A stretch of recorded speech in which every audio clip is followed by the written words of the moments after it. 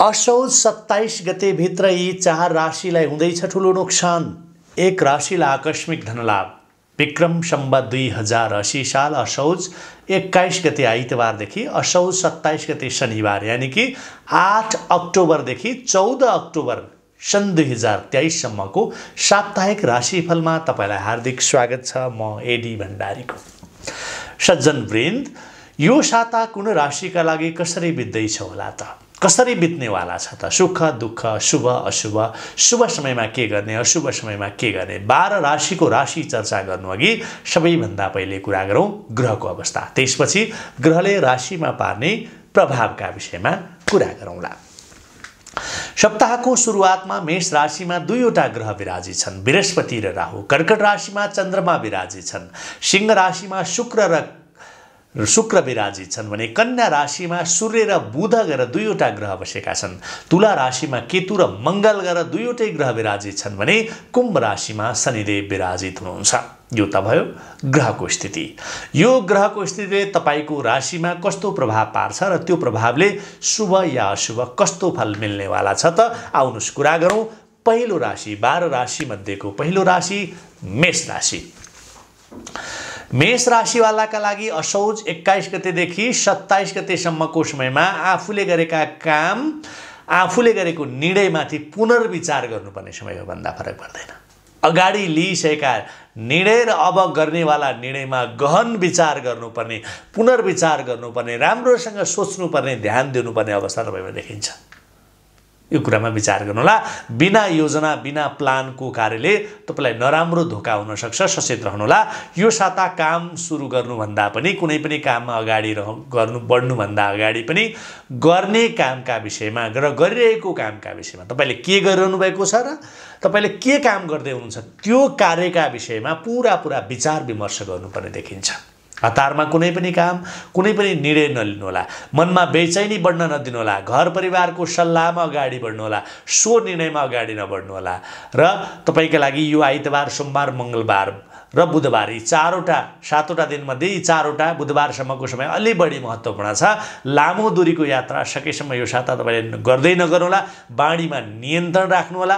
सूर्यदेवको पूजा आराधना गर्नुहोला। नियमित रूपमा भगवान् सूर्यलाई एक लोटा जल अर्पण गर्ने पितृपक्ष पनि चलिरहेको कारणले पितृलाई पनि स्मरण गर्न नभुल्नुहोला तपाईँको लागि यो साताका लागि शुभ रङ। क्रिम कलर हुन्छ। क्रिम कलरको प्रयोगमा पनि तपाईँले जोड दिनु। तपाईँलाई राम्रो हुनेछ। साता तपाईँको पक्षमा रहनेछ। यति गर्नुभयो भने अब पालो वृष राशिको।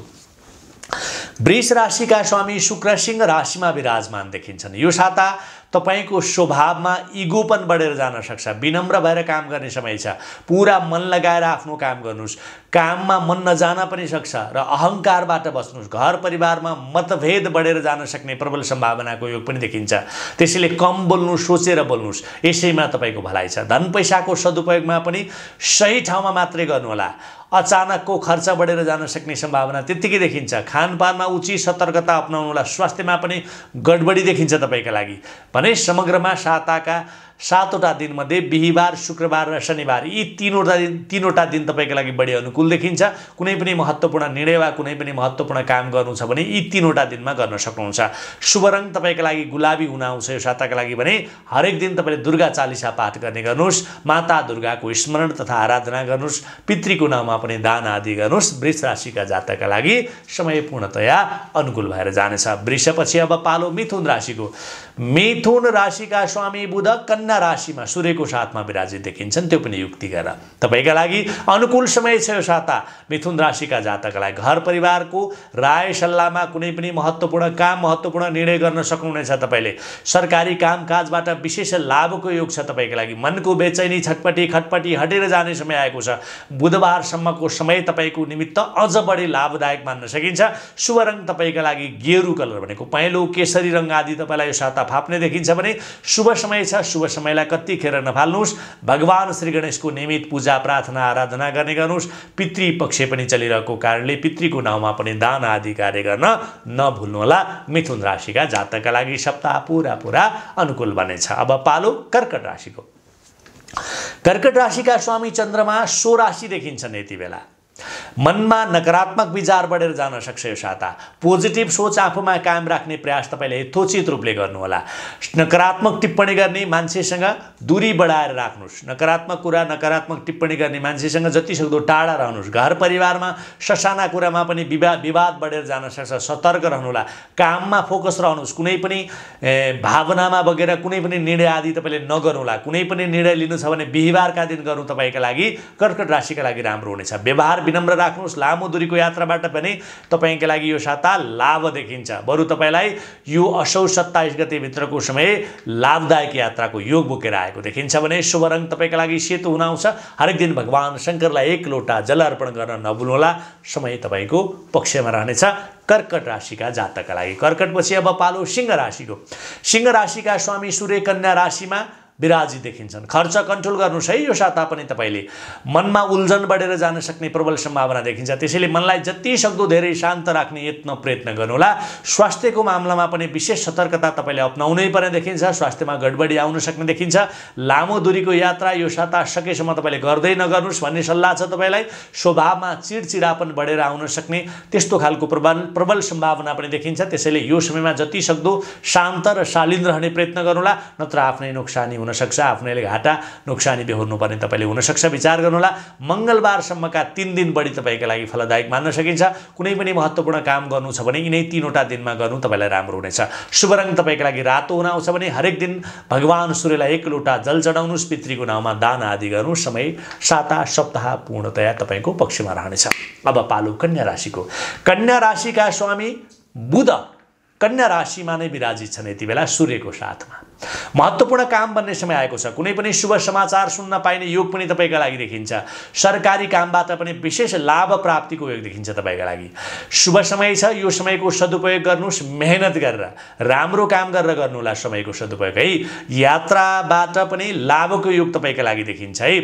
बुधबारसम्मको चार दिन आइतबार सोमबार मङ्गलबार बुधबार सातवटा दिनमध्ये यी चारवटा दिनको समय बढी फलदायक मान्न सकिन्छ तपाईँका लागि। महत्त्वपूर्ण निर्णय तपाईँले महत्त्वपूर्ण काम यही चारवटा दिनमा गर्न सक्नुहुन्छ भने तपाईँका लागि हल्का पहिलो रङ शुभ रङ देखिन्छ यो साताका लागि भने हरेक दिन भगवान् शङ्करलाई जल अर्पण गर्नुहोस्। पितृपक्षमा केही कुराहरू कुनै न कुनै दान आदिको कार्य गर्नुहोस्। सप्ताह पूर्णतया तपाईँको पक्षमा रहनेछ। यदि तपाईँको राशि कन्या हो भने। अब पालो आएको छ तुला राशिको। तुला राशिको स्वामी शुक्र सिंह राशिमा विराजित छन् यति बेला। साताको शुभारम्भमा।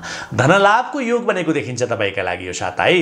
तपाईँको मान सम्मान बढेर जानेछ। कुनै पनि काममा पुरा मन लगाएर गर्नुहोला। समय शुभ छ पुरा फल प्राप्त हुने समयमा सङ्घर्ष मेहनत जारी राख्नुहोस्। कुनै पनि महत्त्वपूर्ण निर्णय गर्नु छ भने सप्ताहका अन्तिम तिनवटा दिन भनेको बिहिबार शुक्रबार र शनिबार यी तिनवटा दिनमा लिनुहोस्। आफ्नो परिवारको कुराहरू सुन्नुहोस्। परिवारलाई समय दिनुहोस्। परिवारलाई खुसी राख्नुहोस्। त्यत्तिकै सुख प्राप्ति हुनेछ तपाईँलाई।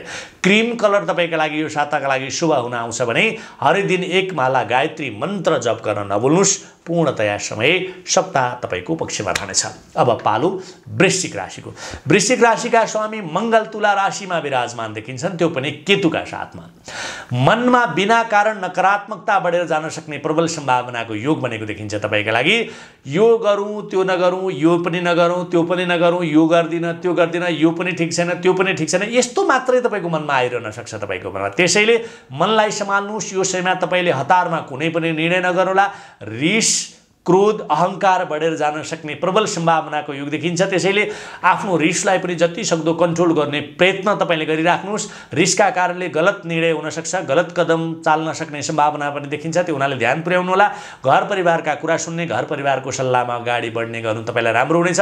लामो दूरीको यात्रा यो साता गर्दै नगर्नुहोस्। स्वास्थ्यमा तपाईँले उच्च सतर्कता अप्नाउनु पर्ने देखिन्छ भने केसरी रङ तपाईँका लागि यो साता शुभ हुन आउँछ भने हरेक दिन ओम नम शिवायको मन्त्र।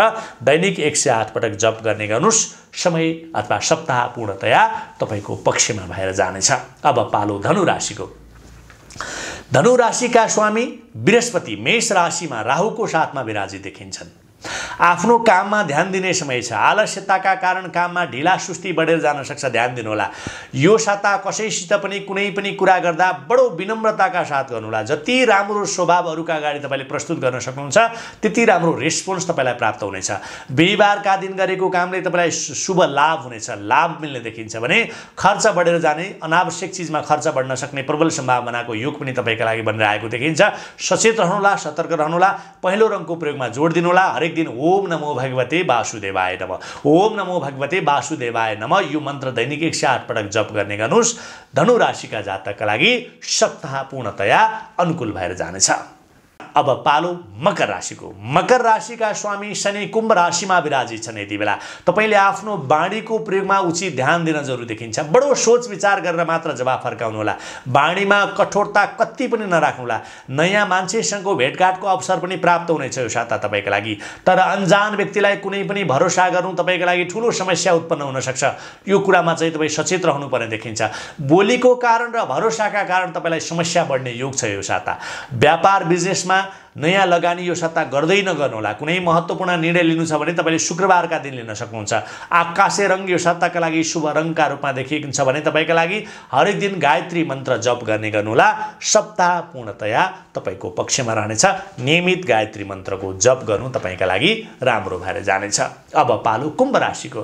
कुम्भ राशिका स्वामी शनि सो गृही छन्। यो साता यो साता तपाईँको क्रिएटिभिटीले तपाईँलाई लाभ गराउनेछ। आफ्नो काममा ध्यान दिनुहोस्। अनुकूल समय नै देखिन्छ तपाईँका लागि। व्यापार बिजनेसमा धनलाभकै योग देखिन्छ तपाईँका लागि। लाभको समयमा लाभदायक कर्ममा जोड दिनुहोला। आर्थिक अवस्था मजबुत भएर जाने समय आएको देखिन्छ। करियर अघि बढाउनका लागि मेहनत जारी राख्नुहोस्। आलस्यता नगर्नुहोस्। सप्ताहका अन्तिम तिनवटा दिन तपाईँका लागि बढी लाभप्रद देखिन्छ। कुनै पनि महत्त्वपूर्ण निर्णय गर्नु छ भने यी तिनवटै दिनमा तपाईँले गर्न सक्नुहुन्छ। शुभ रङ तपाईँको लागि क्रिम कलर हुन आउँछ भने हरेक दिन भगवान् शङ्करलाई एक लोटा जल चढाउनुहोस् सप्ताह पूर्णतया तपाईँको पक्षमा रहनेछ। कुम्भ राशिपछि अब पालो आइपुगेको छ मीन राशिको।